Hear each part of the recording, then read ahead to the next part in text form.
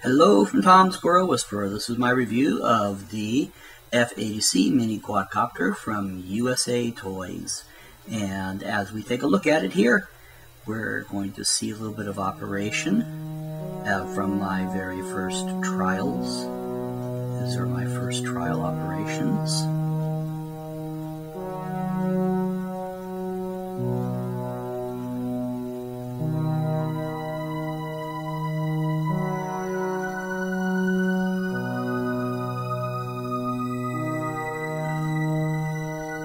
Have to admit, a lot of crashing, but it's a very sturdy, very sturdy toy. takes a lot of crashing. Okay, box. 2.4 gigahertz. The other side of the box, 20 HP camera. I am very pleased with the camera quality, as you just saw there. Those are all pictures from the quadcopter itself. We'll have uh, a little bit more, I believe, pictures from the quad, uh, quad camera coming up here as we continue to explore the camera. Here is the uh, camera itself. It is a mini camera, a mini, a mini copter, just about uh, five and a half, six inches. Controller.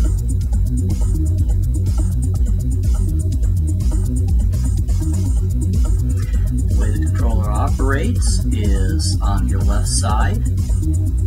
You would push up for power, side to side to spin.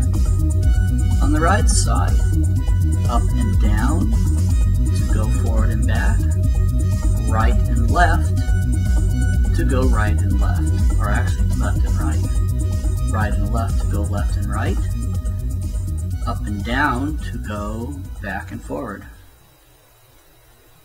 Okay, it arrives like this. You see that you get two wires in the back. They are disconnected.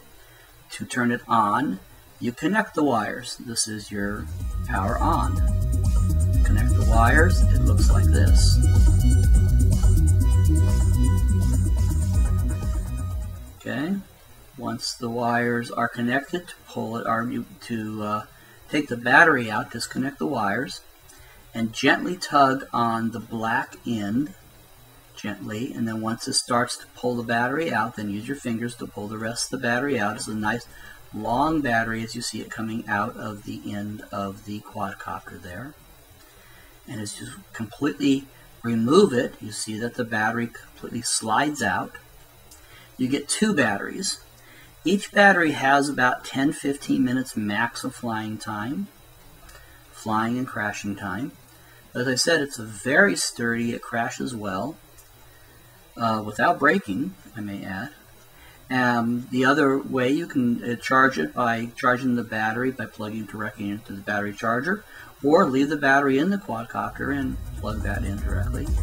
Here's some more flying tests. I got a little bit better at just making it fly here. I'm just going to show you here.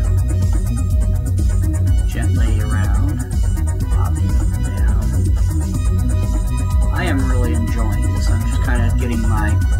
gently control it around without making it crash get more experience at it. It's very windy lately, windy weather pattern, but I am just enjoying it indoors right now. Take it outdoors and really get some good flying in. So, from Tom Squirrel Whisperer, I'm giving a full 7-Up Squirrel Party. That is my way of saying I'm going to have a lot of fun.